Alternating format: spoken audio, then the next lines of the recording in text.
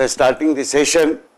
So as I said, we'll quickly look at the queries which were raised in previous sessions about unions and jagged arrays and about the execution time of Turbo C programs. And then we'll proceed to the discussion of files. Uh, although we are going, we are supposed to have discussed text files yesterday, so what we discussed in terms of basic I.O. will be extended by properly defining the files. We'll look at possible file operations and more specifically we will look at binary files and random access files.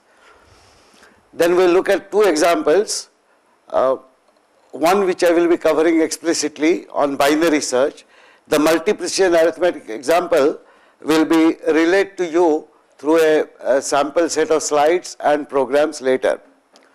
But we will discuss the workshop projects for which we'll take some examples and we'll talk about the contributions to be made to the question bank. I understand a lot of participants have questions on this workshop projects, so we'll discuss the, those in, in details today. First, queries from the previous sessions. So thanks for the person who pointed out that unions apparently require less storage than uh, structs. So why is it that we prefer structs and not unions? So I studied union in fairly great detail and found out that union actually does not accommodate all the components that are defined in the union simultaneously. So it's a spatial structure actually which permits the programmer to keep different types of data values in the same location. Obviously this cannot happen at the same time and therefore at one instance there will be one set of values, at another instance there could be another set of values and it is not just the values of the same type but values of another type. In short, the program is able to interpret the data stored in a common location differently depending upon the context or depending upon what values are kept inside the memory allocate. So union and structs are not comparable at all. This is the point that I would like to make. It is wrong to compare union and structs. The purpose is entirely different. When I define a struct, and when I define a variable of the type struct or an array of the type struct, explicit memory is allocated and actual values, real values of the appropriate type can reside in those memory locations as long as we wish them to. Unions on the other hand do not allocate memory to different types of components which are defined as part of the union, but rather union is a mechanism to permit different interpretation of data stored in the same location obviously at different times. So here is an example of use of union. Suppose we wish to prepare a text data file containing names and details of our remote centers and for each center the names and details of the participants. As you all know, we have differing number of participants in different places. So for example, Ahmedabad we have 30 people and let's say then we will have a record describing Ahmedabad as the center, 30 as the number of participants and let's say Anita, Chirag and such others, 30 of them, these are the participants records. I am sorry I did not have the actual enrollment number accessible last night at about 3 o'clock. So I have given these numbers as artificial enrollment numbers. However, the names are real. Similarly, if we have 32 participants in Amravati, there will be 32 records of the participants with enrollment numbers and name. Let's say this is simplified version. But I will have one record naming the center Amravati and naming that there are 32 participants here. Now notice that total number of records that I will have will be equal to the total number of participants that we have in the workshop plus the total number of centers that we have in the workshop. However, the data that is seen in this particular record Ahmedabad 30 or this record Amravati 32 is different from all other records which contain an enrollment number and name of a participant. Now if I were to read this data each record into a memory location inside my computer then I will have to interpret this record differently and I will have to interpret this record differently. Obviously, both of them will never coexist in that memory location. I will be either reading this or I will be reading this. Unfortunately, before I read, I cannot make out whether that record describes the center or whether that record describes the participant at the center. To distinguish, I have included one more column or one more uh, data field in each record which I briefly call the data type or record type. So here for example, one is the record type for records which describe centers. So consequently Ahmedabad 30 has record type 1, Amravati 32 has record type 1, but all other records which pertain to the participants information have record type 2. So this record will read as 1 blank Ahmedabad blank 30. This one will read as 2 blank 174 blank Anita, 2 blank 392 blank Chirag etc. etc. If I were to describe these, obviously I could describe two different structures, one which contains this, another which contains this. However, since I do not know whether to read the record in one type of structure or another, it is possible to use union here effectively. For example, to define struct center rec, char rec type which has a value 1, char cname 40 and int cnum participant which is the number of participants is one type of record.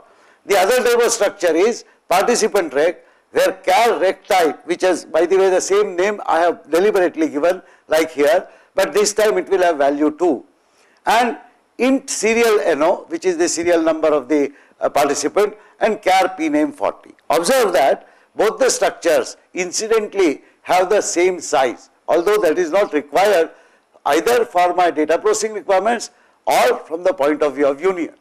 But it is very obvious that if I define the union of these two together, then the question which our friend raised the other day becomes pertinent. Individually, these structures seem to require 40 plus 1, 41 plus 4 for int, uh, uh, say, uh, uh, CNUM participants, which means 45 bytes. This one will also require 45 bytes. It may appear that when I define it as union, of this and this structure, then only 45 bytes totally are required. So he is right in terms of the memory allocation. However, he is wrong in that both these structures cannot simultaneously hold different data. At any point in time, I will be able to read 45 bytes and store these 45 bytes in the memory that is allocated to the union. But I am restricted to use either this particular record structure or the other particular record. So in short then to conclude, union is actually a way to permit us to interpret the same memory locations in a different context depending upon what is being stored there at any one point in time. And while I might have union of multiple records or multiple structures, or multiple types, I cannot assume that uh, in fact it is not possible to have all of these uh, data items to be stuffed with values at the same time.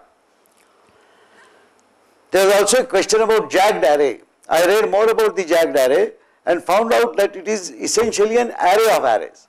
But it differs from the normal multi-dimensional array in which the number of columns or elements in each row are same. So in jagged arrays, one can define each row to have different number of elements. And the row will have elements as arrays themselves. So this is a special data structure defined in most object-oriented programming languages. What could be the objective of using jagged array? Why would I require a two dimensional array for example to have different number of uh, columns for the same row? Well, one example could be extending the same particular illustration that we took for let us say centers and the number of participants or information about participants. So let us say information about each participant is contained in a structure. Now for each center there will be as many participants as they are there and therefore therefore an array of participants. There would be a different array let us say for each center, each remote center. Ordinarily to accommodate in the conventional two dimensional array structure, I would have 22 rows in my two dimensional array corresponding to 22 remote centers and in each row I will have as many number of columns as will collect the maximum number of participants in any center. So let us say Anna University Chennai has some 80 participants, then each array element of the uh, centers will be another array of 80 elements, each of which will contain information about one participant. However, if I have a jagged array, then while I have 22 elements representing the 22 centers in the let us say uh, uh, first column of the array or the first dimension of the array, but the second dimension namely row for each center need not exactly be 80 elements long. It could be 35 for one center, 12 for another, 48 for another and this permits us further to economize on the storage and also have exactly as many elements as are required. Jagged array unfortunately as a data type does not exist in conventional programming languages. As a matter of fact, it does not exist as a special data type or a, or a native data type, natural data type in other programming languages also. However, in most programming languages such as C++, C Sharp or Java, jagged arrays are permitted as abstract data type. This was one particular issue that was raised. This was in relation to the demonstration that I had given of the execution time and where we had briefly discussed the notion of algorithmic complexity. The question was, in Unix, I can use the time command to find out how long it takes for a program to execute and also find out how much time spent by the instructions of my program, how much overhead by operating system and how much real time etc. What do I do if I am using Turbo C environment? My first observation is Turbo C, GCC or any other C compiler cannot and does not have any mechanism to tell us about the execution time of the program written and compiled using that compiler. Because the execution time depends on the computer system on which the program is run and the operating system is alone capable of giving us the time information. So how do we find this time information? Just like the time command that we have on uh, under Unix or Ubuntu, there are commands under Microsoft Windows through which any executable generated by Turbo C can be run and its execution time measured. There are actually tools uh, which permit us to do that. However, for the less initiated where you are not very sure of uh, uh, what command and what structure should be used to find out execution time, I would suggest a simple mechanism. Open a command window in your Microsoft environment. In that command window, just give a command time slash t or simply time. Time slash t will give you more details. It will give you the current clock time. Then run your program and then again give time slash t as a command. So the difference between the two times roughly will tell you the uh, clock time that has uh, sort of uh, elapsed between the two commands and therefore the time totally taken to run your program. This is not as accurate as the time command for which you can either use an instrumentation provided by not only Microsoft Windows but by Unix or something which incidentally can be incorporated in your program itself. For example, you can make a system call and get the current system time and you can actually measure the execution time not only for the entire program but for the execution of any segment of the program at the beginning of which you make a time call and after executing which you make another time call. In this context I would also like to mention an extremely important tool called Profiler. As we know our program has many iterations, if statements, conditioners and heavy computations and so on. So if you take a 500 line program, it is not that every line of the program takes the same amount of execution time. Obviously, if there is an iteration, that iteration will take much longer.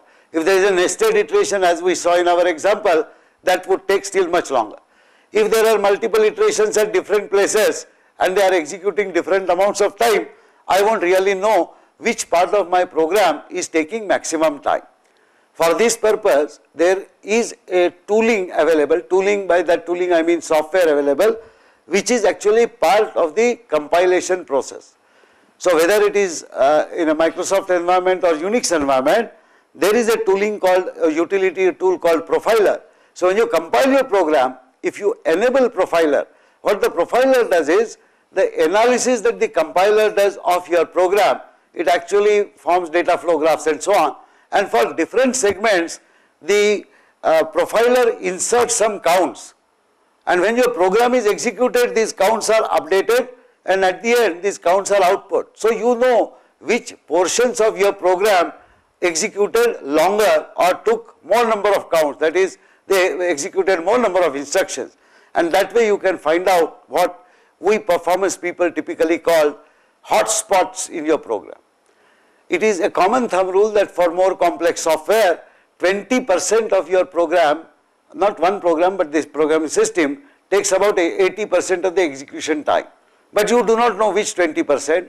Profiler will help you identify this 20% after which you can concentrate your personal attention on that portion of the code and then optimize it by rewriting it or writing it properly or writing it different.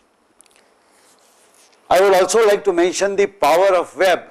Many of you would be aware of it, but I am not sure how much of this power you use. I would strongly submit that you can and should use as simple a thing as Google search to find answers to technical queries. I have constructed an example based on the last night's experience that I had when I was discussing the workshop slides. Uh, I was discussing it with my colleagues Tushar Kamli and Nagesh Karmali and a query was raised about a structure within a structure. So the first question was, is it permitted? I answered yes, of course it is permitted. And while I wanted to give an example to illustrate such usage, I wanted to know what the web has to say about it.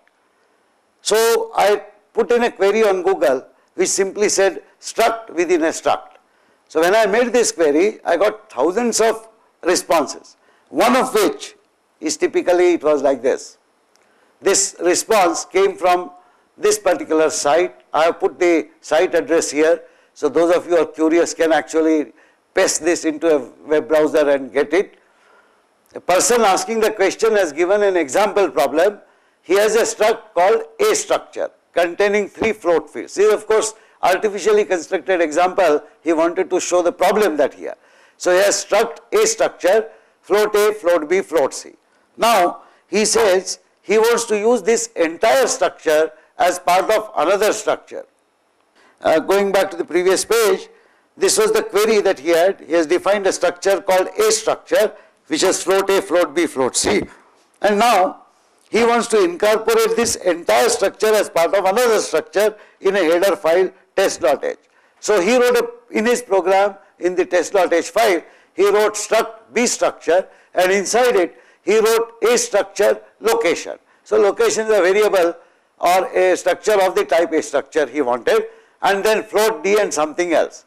Now he says this was a problem line and when the program was compiled he gets the following error. The error says syntax error before a structure and he couldn't figure out what is the syntax error, is the opening brace wrong, is this syntax wrong, etc. etc. The correct answer as you many of you would have guessed is the wrong way of specifying a structure location. In fact, this was pointed out by two people immediately the first response said that in C, you either have to use struct a structure whenever you reference that type.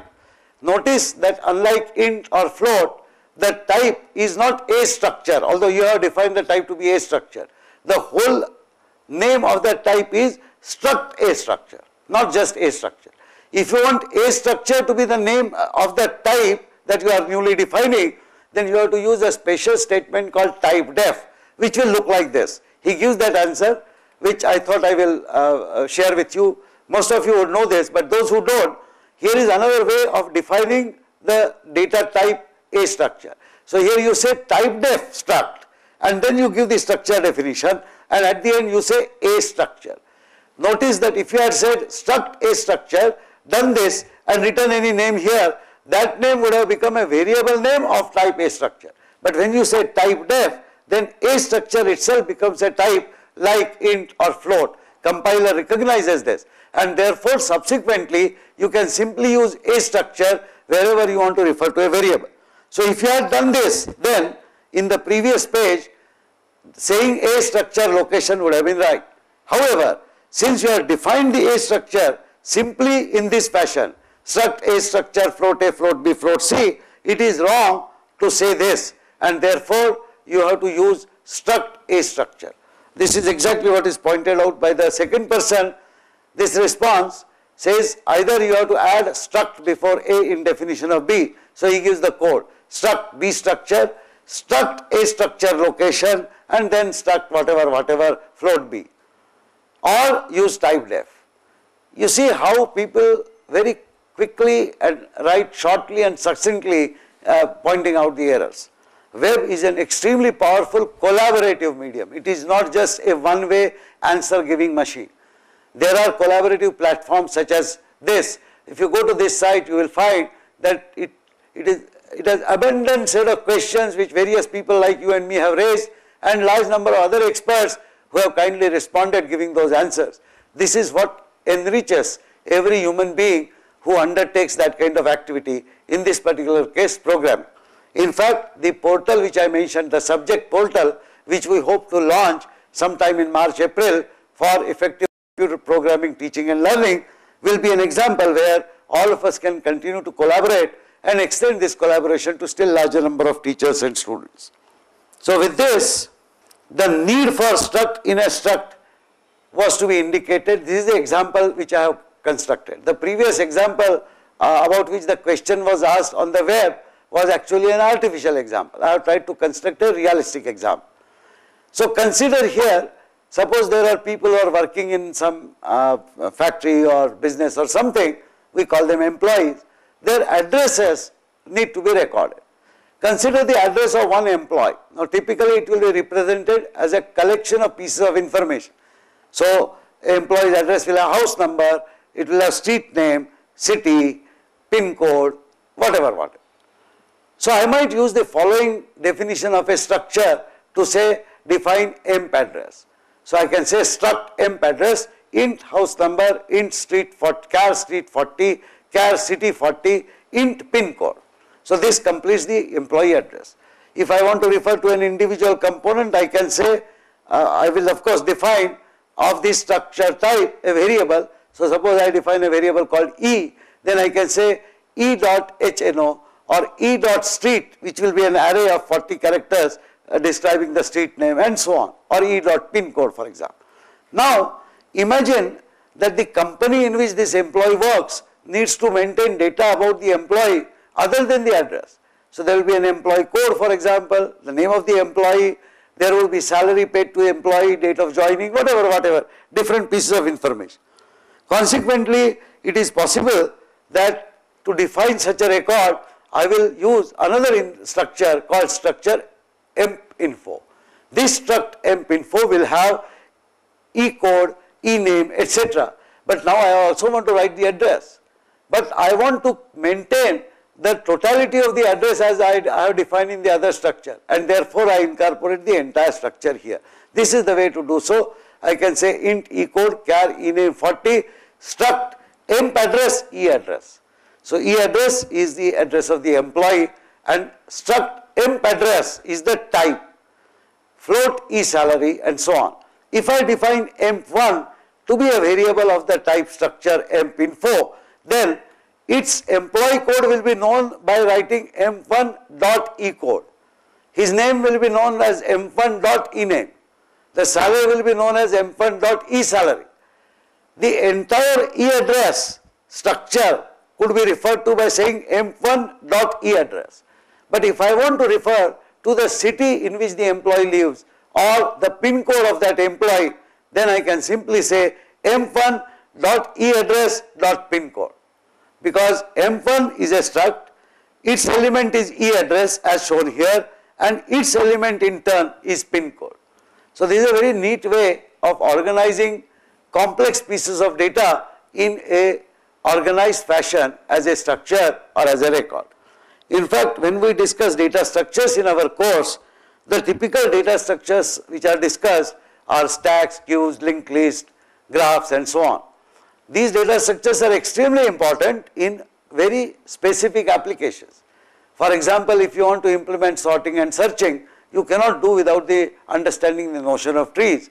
Binary trees, for example, within the in-memory searches or B trees or other multi-node trees in case of disk file searches. But what is important to understand is that in a large majority of application fields, the most often required data structure is actually an organized structure like this.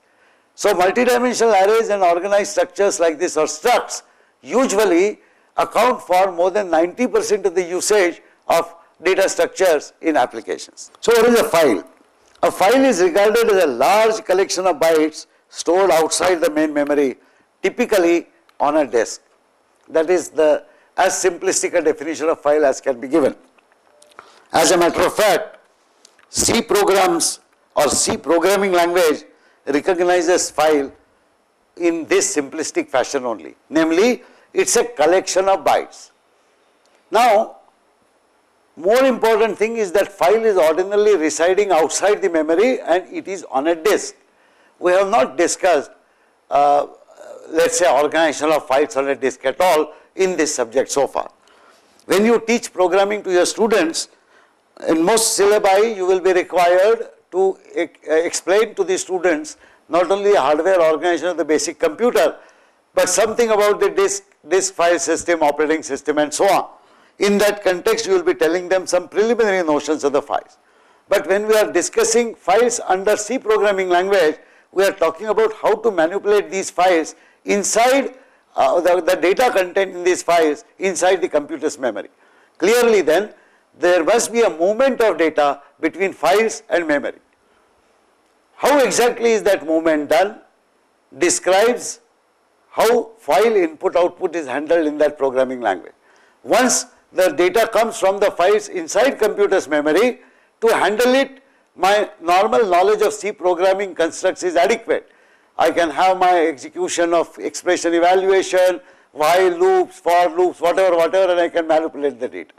Once I have calculated the desired results, to put it back to the outside world, I will again require file IO. In short, input output is an extremely important aspect. Uh, the very purpose of running a program is to get some data from outside world, process it and give the results back. And therefore, we need to understand how input output is done. Yesterday we discussed input output in a generic sense, particularly in the context of formatted input output, which is what we usually deal with because we want to give input data in terms of character strings typed on a keyboard and we want to collect output from our computer programs and see that on a computer terminal. This is the most typical IO. However, generically a file is defined as a collection of bytes stored outside the main memory typically on a disk. Now the files on the disk are managed by the operating system. There is a component called file manager or file system manager which manages the organization of files or the data onto magnetic media such as this. And this provides for directories, subdirectories, you are all aware of them. Within the subdirectories you have the files and files can be created, data bytes can be written to the files, data bytes can be read from the file, files can be deleted, files can be extended, etc. etc. Additionally, if you have an existing file, you will be able to insert data in that file practically at any arbitrary location or you can delete data from that file practically at any arbitrary location. When you use a word processor for example and you are editing a file, you have entered let us say a large amount of script in that word file, let us say you are typing a chapter in a book that you are writing and suddenly you decide that three pages should be deleted from that particular chapter because they do not make sense. When you delete the three pages on your screen by using a simple delete operation of your word processor and when you save your document, the corresponding pages have to be deleted from the original file. The computer operating system incidentally does not keep creating a new version of a file every time you save a file and the file that you save may be different in the original site. All of that is managed because these files on the disk can expand the string through insertion and deletion but most importantly files can be created, data can be written to them and files can be opened and data can be retrieved from them for reading. So each file has properties, it has a name, it has path, it has permissions for reading, writing and so on and physical location and contents of any file are known to the operating system. In short, when I write a program in which I have to read or write data from or to a file, then I have to use operating system as an intermediary. Of course, I do not explicitly call operating system, but it is worthwhile remembering that any input output operation that is done is necessarily done through internal calls, intrinsic calls to the features of the operating system which actually permit this kind of input output. The first peculiarity of the C language that we would like to understand, C language treats a file as a stream of bytes. That is why the word stream. If you notice in C++, you call it IF stream, IO stream and so on because a stream of bytes like a stream of uh, river where the river flows. River of course has a single directional flow and water keeps flowing in it. A stream of data is actually a stream of bytes. That is what a file is in C. A file can be opened for reading bytes from it which we call an input operation or it can be opened for writing bytes to it in which case it is called an output operation or you can do both I.O. The bytes are simply treated as characters. Now that is very interesting because a char in C is equivalent of int and therefore when you read bytes from a stream you actually get int values. Of course they, they are in fact characters generally if you have a text file but they can be treated as chars if you wish to. A file is defined through a special pointer called file star which points to a file object such as file star fp. So this is the way you define this. I would like to repeat again what I had mentioned earlier. C programming language per se does not have any direct constructs for input and output. So the input and output is all implemented through a set of library functions. The keyword F-I-L-E capital 5 and all functions which deal with input output are part of the standard C library. So when you say include stdio, uh, stdlib for example or stdio.h, you are actually including all of these things in your program. For this file, C is capable of positioning a pointer to any byte within the file from which or at which bytes can be read or written. This is an important concept to be known. So here is an illustration. First of all, FP will, star FP, that is FP will point to the file object. So let us say this is a file. I have shown it as a strip. A strip containing a series of bytes, 1, 2, 3, 4, 5, 6. How many bytes a file can have? Millions and billions. The total number of bytes in the file is called the size of a file. And when you open a file, the file will be opened usually at the beginning. So if you are reading, when you say get me a character, you will get this character. When you say get another character, you will get the next character and so on. Operating system and therefore C programs maintain a pointer to the location which is currently pointed to within the stream. Typically we use a name like pos or position. So each file in short has a file pointer which refers to the entire file. So any operation to be done on this file will require us to use the file pointer once we have associated with the file. Second is a position or pos which at any given point in time points to a specific byte on this entire strip. So when I say points to, the pointer is actually notional. For example, if your entire data is on disk and let's say you have 2 million bytes there and you set pos arbitrarily to point to 253rd byte, well it is there is nothing like 253rd byte either in your memory where the pointer resides. The data is still on the disk. So this is actually an internal computation which calls positioning a pointer into a position on the disk. It is possible for you to go to the disk file system operating system and say please read me so many bytes starting from this position and the operating system will use the value of pos, go to the disk file and read as many bytes as you prescribe. You can also write as many bytes as you want at that position. Of course, this provision is available for what we call direct access files. Most of the files that we have seen so far are sequential files. That means you keep reading the data in sequence or you keep writing the data in sequence. When you do that, you obviously do not require to know about the position uh, uh, pointer pos. And that is the reason why in formatted input output, we never had to worry about anything called pos. We simply said scanf and the scanf read as consecutive bytes. Once so many bytes was read, were read and we wanted to read something more, when we said scanf, it automatically read from that point onwards. True that we did not really explicitly use a file, we were using scanf in the context of keyboard input. Similarly, when we say printf, the write, written output went to your terminal. So where is the disk file in this context? We shall shortly see that all of both of these are actually exactly equivalent of a disk file. There is no difference in the behavior except that they are sequential files and therefore position sort of uh, pointer is very rarely used in such files. Very specifically, just as a file can either be a sequential file or random access file. Random access file means I can make use of the position pointer to read or write at any arbitrary place, uh, any arbitrary number of bytes. Similarly, a file can be either a text file or a binary file. We are familiar with text file which contains text data. Binary file is one which can be used to store non-textual data such as uh, digital images, whatever, whatever you. There are open statements, not really statements, but open function calls which permit you to open a file. Remember what I said on this, every file has a name. Now there are modes for file opening. I have tried to just list here all the modes, although the modes which will most frequently require will be R or RB mode for opening a file for reading, W or WB mode for opening a file for writing. Notice that when I use the key character B, it becomes a binary file. Without B, it is a text file. So that is the simple difference. R is for read, W is for write.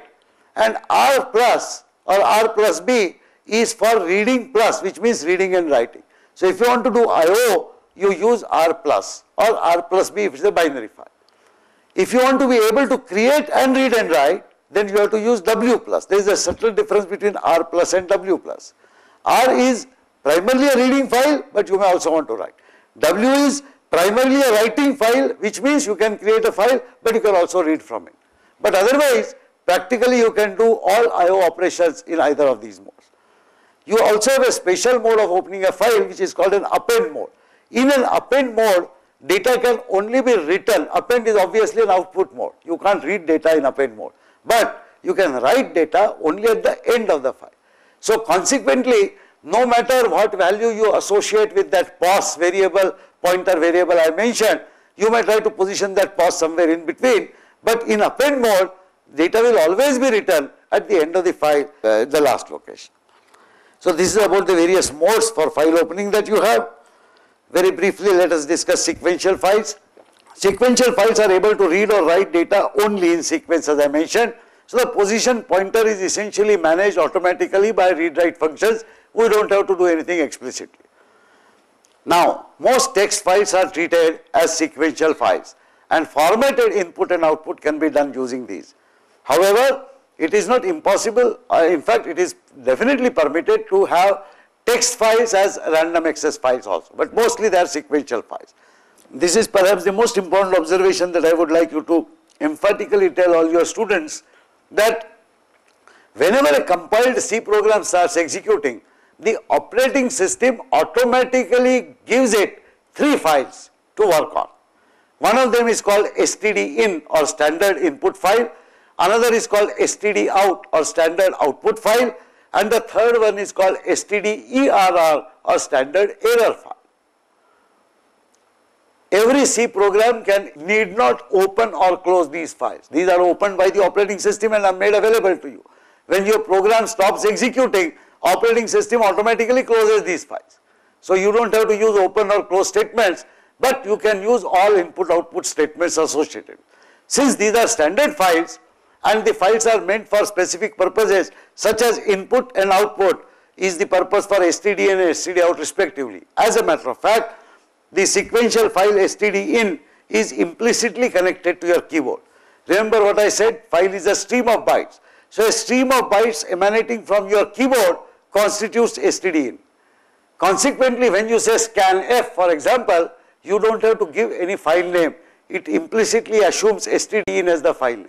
Similarly, when you say printf, the printf command goes always to std out, which means it goes to your monitor. stderr is an output file like an std out and therefore you have to mention that you are outputting to stderr but that is also by default connected to the monitor. Operating system provides features to disconnect these three files from their default connections and to connect them to disk files instead. That is called redirection. So whenever you execute a program, let us say myprog.c, you compile it and you say dot slash uh, a dot out, ordinarily all input will have to be given from a keyboard. But if you want to read all input from a file exactly as if you had typed it, you can simply say dot slash a dot out less less my file, where my file is a disk file. What operating system does is, it disconnects std in from keyboard and temporarily connects it to my file, so that all data is read from my file. But the behavior otherwise of the stream of bytes remains same whether it is std in as connected to keyboard or connected to any other file. These are some of the library functions. Uh, can we go back to the query that was raised here? Can we go over to Nagpur briefly? Yes, Nagpur. Uh, sir, I want to ask about the JAG arrays. Could you please elaborate on that point? How to use that JAG array in C?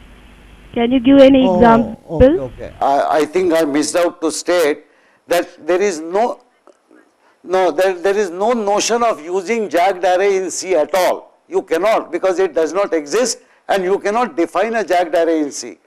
Jagged array is an artificial data type or an abstract data type which has been defined in C++, C Sharp and Java.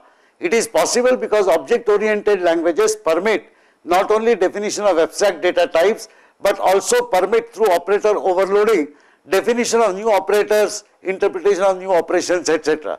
Such extensibility does not exist in C. The limited extensibility is through type def, whereby you can merely define uh, structures as new types and so on. So therefore, I am afraid jagged arrays have no place in C programming. So uh, you will have to, you, you cannot use anything like jagged arrays or any such esoteric data structures naturally. You will have to do that artificially in a completely different way and there is no convenient way of doing so in C. So as far as C program is concerned, uh, just tell your students that jagged arrays do not exist in C. We must take a 5 minute break. Thank you so much.